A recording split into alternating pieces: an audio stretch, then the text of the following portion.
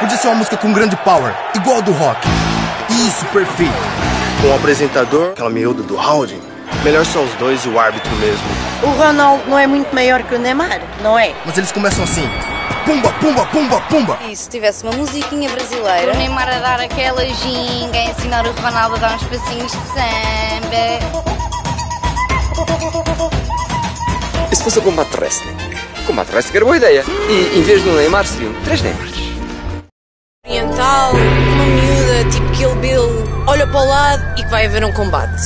Tipo battle. Imagina, ataque, resposta, ataque, resposta, ataque. Parece o Bruce Lee. E aí o Neymar puxa o braço atrás e tu pensas, ele vai ganhar isto. Mas o Ronaldo sabe muito e dá a volta. Talvez um torneio de póquer. Começam a jogar, sai um 10 ao Ronaldo e um 7 ao Neymar. E já sabe como é que são os jogadores com os números, não é? Ronaldo não se deixa intimidar com nada. E... Sabor. Pai, o Neymar está super confiante e tal. Suspense. Aquilo. A croupier vira a carta e ganha o Neymar.